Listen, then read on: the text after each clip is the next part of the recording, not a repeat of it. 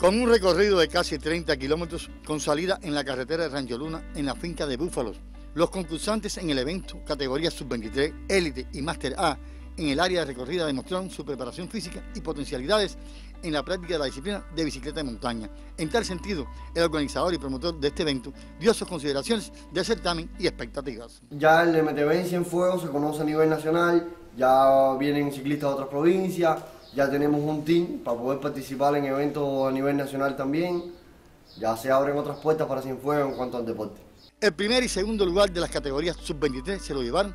dos concursantes cienfuegueros y el tercer puesto un villaclareño. En tanto, en el nivel élite, otros dos perlasureños se posicionaron en los primeros dos lugares y la tercera plaza se la llevó el representante habanero, participante en la carrera. En la categoría Máster A, los locales también lideraron las dos primeras plazas y el tercer puesto fue para el otro villaclareño concursante en el certamen. De tal manera se efectúa en Cienfuegos la primera edición de bicicleta de montaña por iniciativa de Alex Alonso, quien pretende una o dos veces al año para dar tiempo a que, el personal se prepare. La primera edición de bicicleta de montaña o mountain bike en Cienfuegos se inserta entre las amplias y variadas actividades de la etapa estival en la Perla del Sur, la cual sirvió para materializar un viejo sueño de los andarines de las vías y los pedales de montaña de la Perla del Sur, con la participación de colegas de otras provincias del país, quienes confían que después de esta experiencia, en las próximas se incremente la participación de ciclistas de otras provincias y de ciclistas foráneos.